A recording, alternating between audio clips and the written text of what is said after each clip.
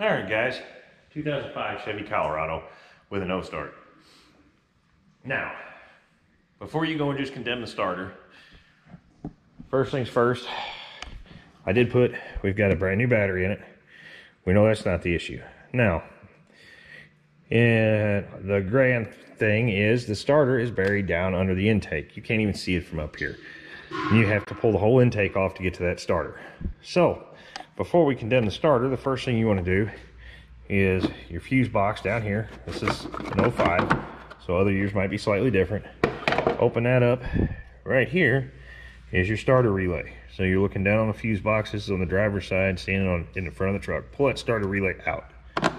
Okay. Now you should have, and you you can use a regular test light for this. Just hook it, hook it to your negative for this test. Now you should have 12 volts there. You should have 12 volts here. This is the battery power to the starter. This is the 12 volt key on power to the relay. Now, if you have the ability to, with the power probe, you plug into this one, this is your power out to the starter. So if we hit the power button on the power probe, starter's fine. Okay, it started up and it, and it will run. All right, now pull that out of there. If we plug this in here and I hit the key, you should see that little light turn green and it should beep.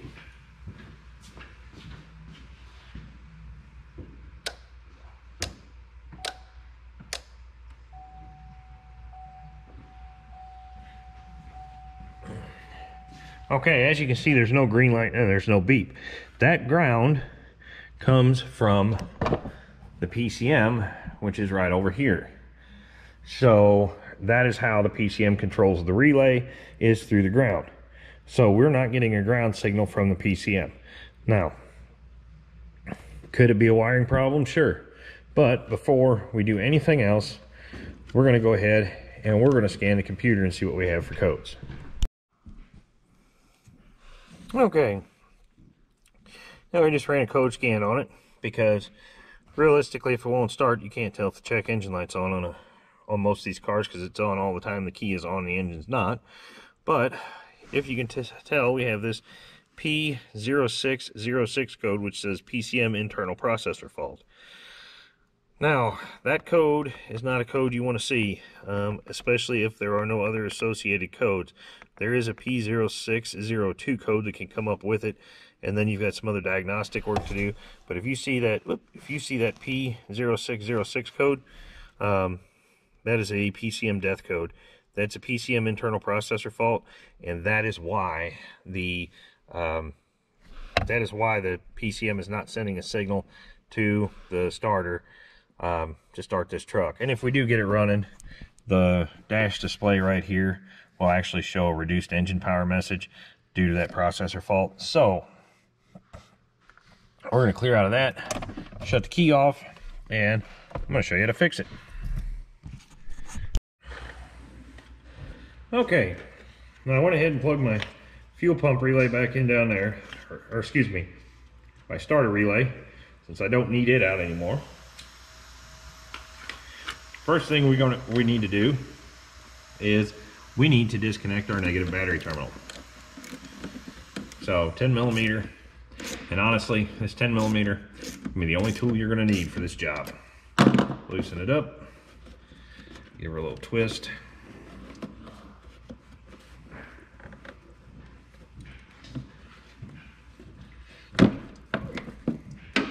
Chuck it out of the way. Then we're gonna come over here to the PCM and I know it's hard to see, but these three little red tabs on the plugins, go ahead and pull them out. Just give them a wiggle, and they'll come out.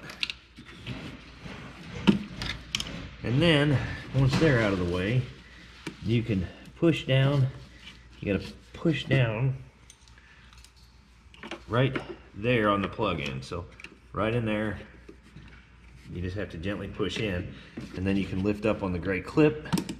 And as you lift up, wiggle the plug in out and with any luck Flip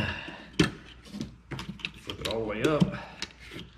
And she should slide out.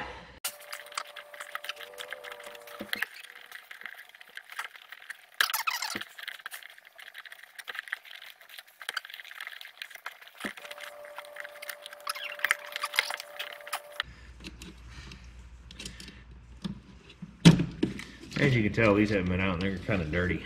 Oh, Lord have mercy. Let me get that last one out.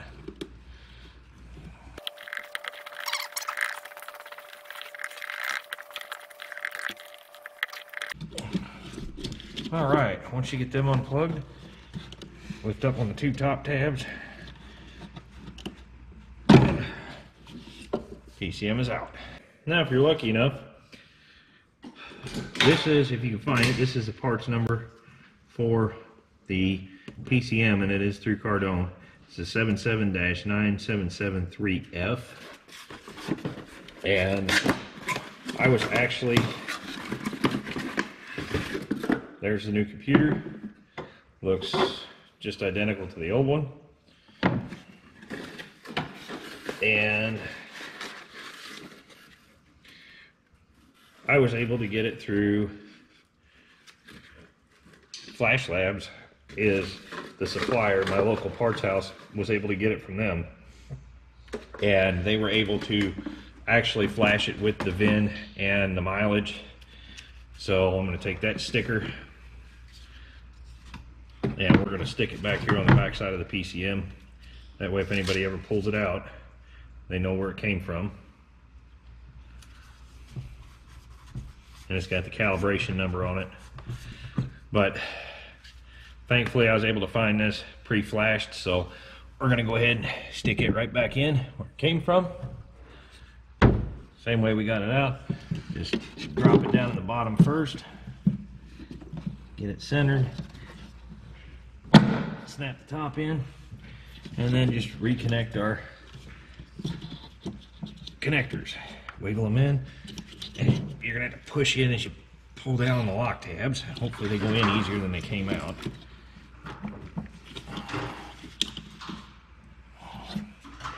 Just be careful, you don't want to break them.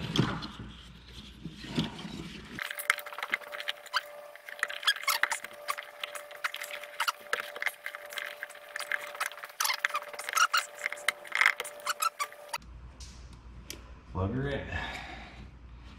Hopefully. All right, they're all locked in. Go ahead and hook your negative battery terminal back up. Because even though it's programmed with the VIN and the mileage, we're still going to have to reprogram the anti-theft system to recognize the key. So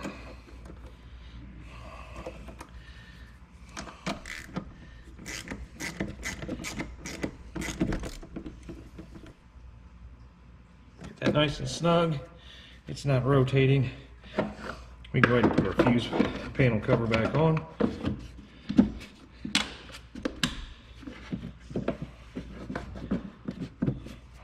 And we'll go inside the truck. Okay, in order to program the pass lock system to the new PCM, turn the key on, turn it to crank, and it'll take about 10 minutes but the security light will eventually go out. When the security light goes out, we turn the key off, we do the same thing. We're going to do that three times. It'll take about a half an hour. And at that point, that should have reprogrammed our pass lock system and we should be able to start the truck. Okay, we've done it three times now. You can see the um, security light is off. So we're to turn the key off back on. And she's alive. All right. So we still have to check engine light. So we're gonna go back here to the engine. And we're gonna look at the codes.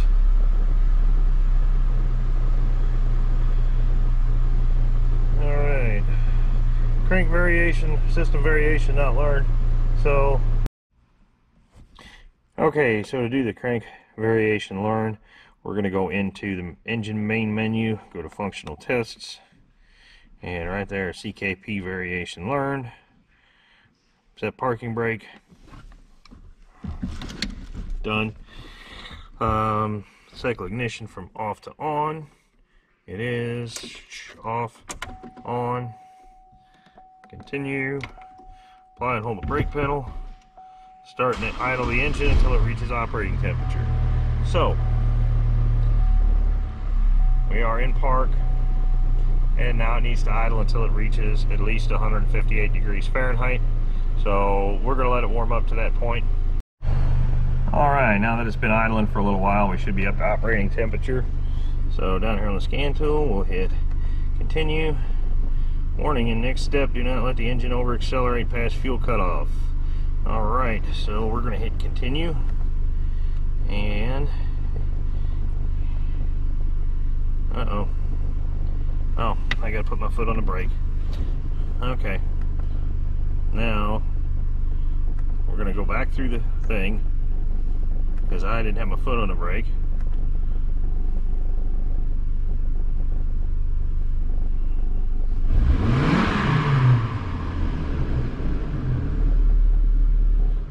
Right, says the learn was successful. Oops, sorry. It says the learn was successful. And as you can see, check engine light is out. Now if I release the parking brake, all of our dash lights are out. It's telling me I got a door open, which I do. Oh, that didn't help. Shut the door.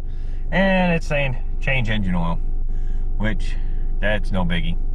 So we'll get that taken care of. And then this little bugger will be ready to go down the road. Thanks for watching, guys. Please do me a favor. Uh, make sure you rate the video, subscribe to the channel if you haven't. Uh, if you have any questions, as always, drop them down in the comments. I'd be more than happy to answer them for you. Share this with your friends because it might help somebody out. So thanks for watching. Don't be afraid to get out there and get your hands dirty. You might have a little fun doing it.